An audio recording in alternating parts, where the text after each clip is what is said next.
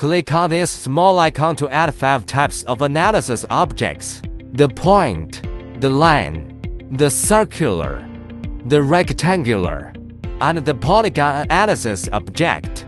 After adding more than 5 analysis objects, the parameter list in the upper left corner can be hidden by clicking on the small arrow on the right. One more click to make it show up. Meanwhile, the analysis object can be dragged and dropped to any position you want. Long press on the analysis object to set its parameters.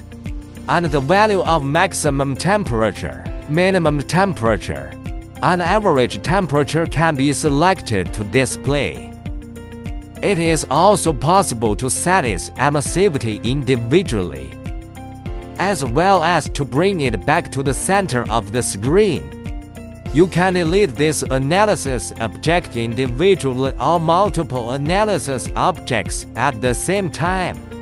Just click on this small trash can, and then click OK.